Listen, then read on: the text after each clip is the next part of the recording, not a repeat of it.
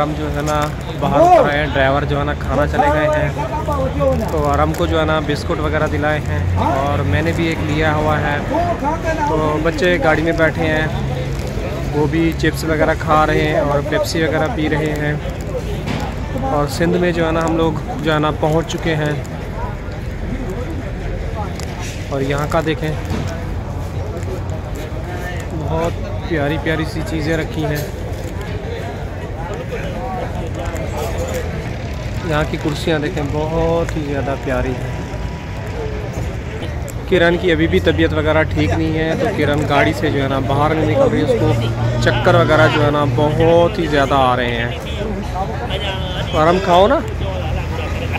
आराम। खा लो बेटा। रास्ते में जो है ना अभी इसकी तबीयत वगैरह ख़राब हो गई है और गाड़ी वगैरह जो है ना रोक दी है। तो गाड़ी ये रुकी हुई है हमारी। तो कराची जो है ना जा रहे हैं।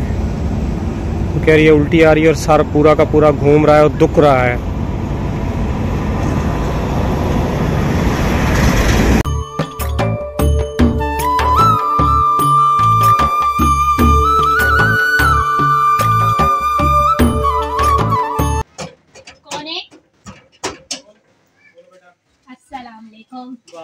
कैसे हैं मामू आप? ठीक है अल्लाह का शुक्र है आप सुनाए? अल्हम्दुलिल्लाह हम सब ठीक हैं। हमारे बगैर दिल लगा आपको? बिल्कुल भी मज़ा नहीं आया। नहीं आया क्या हाल है अब आ गए हैं ना मज़ा आएगा हो? इंशाल्लाह। क्या हाल है मामी?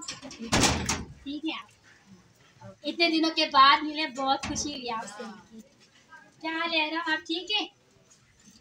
अभी ये हमें पहचानेगा नहीं क्योंकि काफ़ी टाइम बाद आया ना इसलिए तो भी इसको उठाएँगे नहीं। कम से कम तीन मंथ गुजर गए हैं। तो तीन हाँ। चौथा मंथ लग गया तो जब मुलाकात हो रही है तो वालेकुम अस्सलाम। ठीक है अल्लाह का शुक्र है आप सुनाए? अस्सलाम भाभी। अस्सलाम आराम। ठीक है? वाह विवाह फूफो के पास आ गया हाँ? आप- परेशान हो रहे हैं। आप लोग हमेशा कहते थे ना कि कब आ रहे हैं कब आ रहे हैं आराम तक गुड्डू है गुड्डू है तो आज, माशाल्लाह कल जो है ना गाँव से जो है ना शुरू किया था तो आप लोगों के साथ जो है ना वीडियो हम लोग शेयर नहीं कर सके, क्योंकि मेरी बच्ची की तबीयत बहुत ही ज़्यादा ख़राब थी। और या मैं कैमरा पकड़ता, या बच्चों को संभालता, बच्ची मेरी की अभी तबीयत अभी तक बिल्कुल ठीक नहीं है। और इसको जो है ना, दूर का नज़र बिल्कुल ही नहीं आ रहा कि ये धुंधलाए धूप में निकलती है तो बिल्कुल आके इसकी बंद हो रही है, आसमान की तरफ़ ऐसे देखते तो कह रही है, मुझे चक्कर आ रहा है। तो प्लीज़ मेरे जितने भी देखने वाले हैं तो मेरी बच्ची के लिए बहुत ही ज़्यादा दुआ करें। अल्लाह पाक इसको, इसकी नज़र जो है ना बरकरार कर दे और देखने काबिल बन जाए। क्योंकि आपको पता हमारी एक ही बच्ची है और मुझे तो दिल से अज़ीज़ है। आप लोग भी हमें अपनी फैमिली का हिस्सा समझते हैं। और इसीलिए हमें जो है ना, गाँव में मैंने काफ़ी सारे डॉक्टरों को दिखाया, लेकिन वहाँ किसी को जो है ना समझ में नहीं आ रहा था। तो ये सब कुछ हुआ है। सबसे पहले तो बिलाल बेटा और प्यारी सी बहन का मैं उनका थैंक यू कहूँगा और बहुत बहुत शुक्रिया अदा करूँगा उन्होंने हमें वहाँ से जो है ना, गाँव से जो है ना कार करवा के दी। यहाँ तक पहुँचे। रास्ते में मेरी बेटी की तबीयत भी खराब हुई। तो काफ़ी अरसे से हमारे साथ फ़िलहाल बेटा है और इनके बहन है और उसकी, बहन की दोस्त है। तो हम उनके लिए इसलिए हमेशा दिल से दुआ करते अल्लाह पाक उनको सियत और सलामती वाली ज़िंदगी दे। और बीच में बोल जाता है, मेरी बात जो है ना कट हो जाती है। तो शुक्र, अल्हम्दुलिल्लाह, हम लोग पहुँच चुके हैं। और रास्ते में जो है ना मेरी बेटी की तबीयत वगैरह बहुत ही ज़्यादा ख़राब हो गई थी। तो मैं और मेरी बीवी जो है ना बहुत ही ज़्यादा घबरा गए थे। भाई और भाभी घबरा जाते हैं, बात करते करते ना भूल जाते हैं। बेटी की वजह से बेटी की बहुत ज़्यादा तबीयत खराब थी, इसीलिए ना परेशान है और मिलते हुए भी खामोश हो जाते हैं ठहर जाते हैं कि मेरी, हमारी बेटी की तबीयत सही नहीं है। तो सुबह से आए हैं जैसे तो मिलने के लिए गए दरवाजे पे तो बिल्कुल उदास थे दोनों, मियाँ बीवी। बेटी की जो तबीयत बिल्कुल सही नहीं थी, उसके लिए दुआ करना मेरी भतीजी के लिए, किरण के लिए। सुबह भी मैंने आपकी वीडियो अपनी वीडियो में मैंने बोला था कि मेरी भतीजी के लिए बहुत ज़्यादा दुआ करना कि मेरी बेट, बेटी भी है और भतीजी भी है। मुझे बहुत दिल से अफसोस लगा है मैं बहुत दुआएँ कर रही हूँ अपनी भतीजी के लिए कि मेरे भाई की एक बेटी है।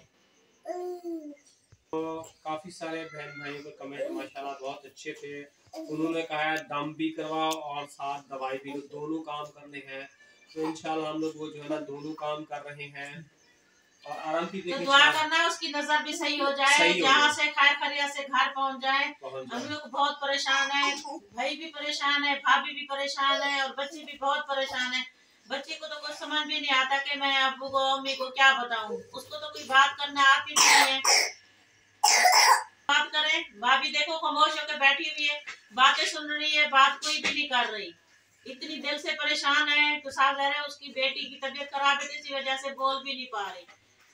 तो आप लोगों ने बहुत सारी दुआएँ करनी है मेरी बेटी के लिए जल्द से जल्द सही हो जाए और फिर हम लोग गाँव जाएँगे। और हमारा लिंक जो है ना अपने बहन भाइयों के साथ शेयर करते जाए ताकि हमारा चैनल आगे बढ़े और ग्रो हो जाए क्योंकि आप लोगों की हम लोग जो है ना चैनल आगे हमारा शेयर करेंगे तो ऊपर चैनल जाएगा। मेरे भाई को पता नहीं नज़र लगती है पता नहीं क्या थोड़ा सा सही होता है तो फिर फिर बहुत परेशान हो जाता है। सब लोग बोलते हैं कि भाई आपका घर चला गया, वापस चला गया, घर बना लिया, ऐसी नज़र लगाई है कि मेरे भाई को फिर वापस आना पड़ा बेटी को लेके। कल से इतनी परेशान है, रो रहा था कल, कह रहा, बाजी, मैं क्या करूँ? मुझे तो समझ भी नहीं आती। कोई ना अबू है, ना अम्मी है तो मैं किसको जाके बोलूँ? या किसको साथ लेके जाऊँ? मुझे समझ भी नहीं आ रही। तो इसी वजह से फिर बेटी को साथ लेके आया, बीवी को भी साथ लेके आया कि मैं वहाँ जाके अपना बच्ची का दिखाऊँगा। इलाज करवाऊँगा ताकि मेरी बेटी सही हो जाए। अभी दो बच्चे जो है ना, हम लोग छोड़ के जो है ना, पंजाब आए हैं, बड़ा वाला आरिफ और आसिफ जो है ना, अभी तक वो गाँव में है। क्योंकि दो हमारे बच्चे जो है ना, अभी पंजाब में है, बड़ा वाला बेटा और छोटा वाला आरिस आरिफ और आसिफ, उनके बगैर हम लोग अधूरे हैं, वो वहाँ परेशान है, हम यहाँ परेशान हैं।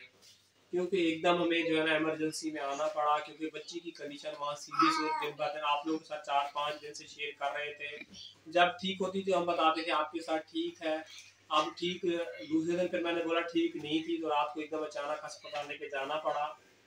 तो हम यही कहते हैं कि आगे अपना लिंक आगे शेयर करते जाए ताकि हमारा चैनल ग्रो हो जाए और हमारे घर के हालात अच्छे हो जाए। तो बिलाल बेटे का भी मैं सबसे ज़्यादा शुक्रिया अदा करूँगा और बहन का भी शुक्रिया अदा करूँगा बिलाल बेटे की अम्मी का और बिलाल बेटे की बहन का और बहन की दोस्त का।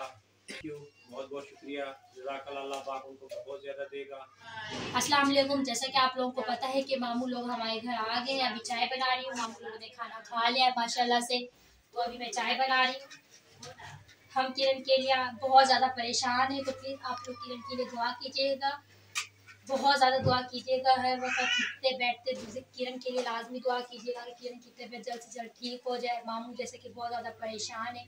उनकी परेशानी को देखते हुए बाकी सब भी बहुत ज़्यादा परेशान होते हैं, क्योंकि किरण एक ही है उनकी बेटी तो बहुत ज़्यादा अफसोस होता है कि किरण के साथ ऐसा हुआ है। मामू को बड़ी मुश्किल से खुशी मिलती है और फिर उनको फिर ना, कोई ना कोई नज़र लग जाती है, जिसकी वजह से वो फिर पीछे आ जाते हैं। तो प्लीज़ मामू के लिए दुआ करें, उनकी सारी परेशानियाँ दूर हो जाएँ।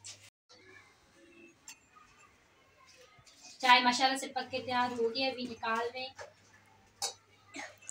बुखार है ना, मुझे खुद को भी तो जायके का पता भी नहीं चल रहा, चाय का कि मीठा पूरा है या नहीं है। अब अल्लाह मालिक के मामू लोग जब चखेंगे तो पता चलेगा चाय का है या तो चाय निकाल रहे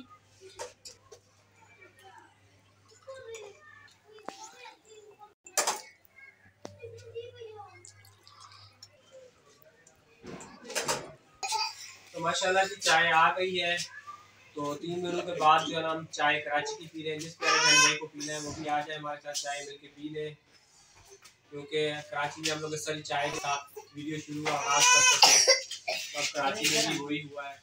अभी हम लोग जा रहे हैं जिना अस्पताल बच्ची को जाके चेकअप वगैरह करवाना है। जो फिर डॉक्टर बताएँगे वो इनशाला कल आप लोग के साथ जो है ना वो शेयर करेंगे। तो अभी जैसा कि आप लोग से चाहेंगे ज़्यादा कल मिलेंगे नेक्स्ट वीडियो में। अल्लाह हाफिज़।